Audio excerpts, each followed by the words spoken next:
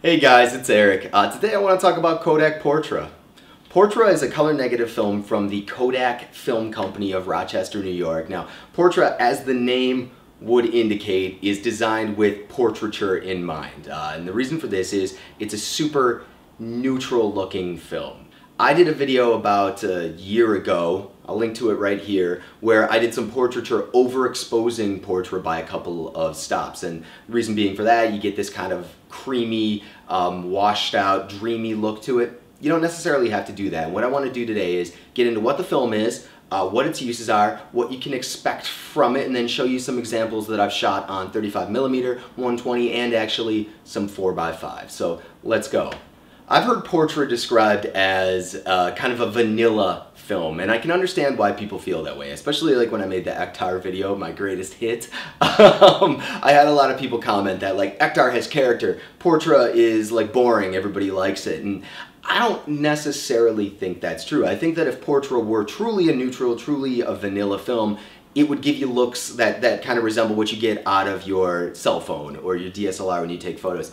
And I don't think it does. I think it does have a really unique character to it. Now Portra, like I said, it's a color negative film, comes in three different flavors. You can get it in 160, 400, and 800 speed. Now I've only shot the 160 and the 400, but according to Kodak's website, uh, as you increase in ASA and in film speed, you're going to increase in grain and you're also going to increase in saturation. So, you know, the 400 is grainier and more saturated than the 160 if you go on like Flickr or 500px and look up stuff shot on Portra, what you're to find more than anything is portraiture. And the reason for that, I think, is twofold. Uh, one, it's got an incredible dynamic range. You get a ton of detail in the shadows, a ton of detail in the highlights, especially in the highlights. It's very, very forgiving. If you're looking for like punchy colors or high contrast, probably not the film for you. But if you're looking for something that is easy to use and is gonna give you a really beautiful, kind of smooth, creamy look to your images, Portra is the one, for sure.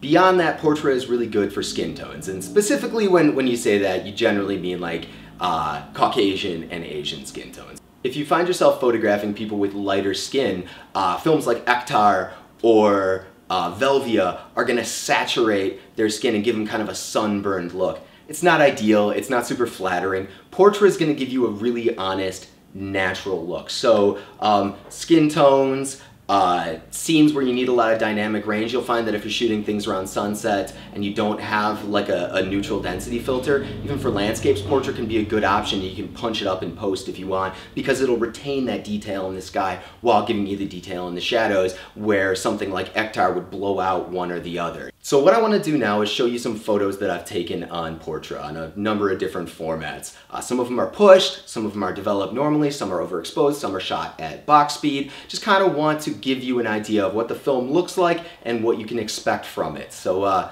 I'll see you on my computer. okay, so the first set of photos here, these were all taken in Buffalo. Uh, these were taken primarily on my Canon Canonet uh, rangefinder, but these are all 35 millimeter Portra 400, uh, metered at 800 and pushed to stop. So um, I took the 400 speed and shot it like it was 800 and then had the lab develop it that way.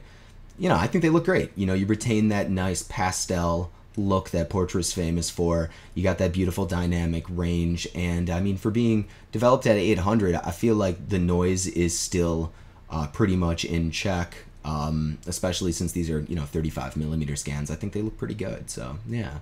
Uh, these next couple here, now these were shot on my RB67, so this is uh, 6x7 120. These were did these as a favor for some friends. These were engagement photos, and uh, you know it's it's totally subjective, of course, but I think they look great. uh, and that one especially, you can really see the dynamic range. I just used reflector in the sunlight there. Um, and this right here, RB67, again, this was intentionally overexposed and developed at 400 uh, to give you that kind of washed out look. This is South Buffalo, aka uh, the Thunderdome. Uh, same roll here, you know, 6x7 uh, 120. Someone told me in Flickr which building this is, but it is it is very cool. Uh, 6x7 120, you might recognize this. Uh, this is from the video I did a year ago with my sister. She actually took this one, so pretty good, you know, all things considered, with what she had to work with. um, and uh, this is uh, a photograph from that video. I'll link to that video. I'll also link to uh, the Flickr albums with these photos in the. But you can see, you know, this is overexposed by a couple of stops, and it looks just beautiful, really, really impressive. I just love the way that the film looks, the way it renders skin tones and uh, such. Now this one here, this is a 4x5 image, and the exposure is not quite right, but I just wanted to include it to give you an idea of this as a landscape film. Um, but yeah, there you have it. There's some Portra. Like I said, I'll link to the Flickr uh, album with a bunch of these photos in them. Uh, coming up, uh, Return to Ektar, more slide film, definitely some 4x5 film. I, I, am uh, going to take that up into the Adirondacks and do some work soon. So, uh, should be some fun videos. It's summertime. I'm excited to go out and, and shoot some film. So, um, if you're interested in any of that stuff, uh, give me a thumbs up, give me a subscription. It makes a huge difference. I appreciate all your comments, guys. I will be back soon. Have yourselves a great weekend, okay? See ya.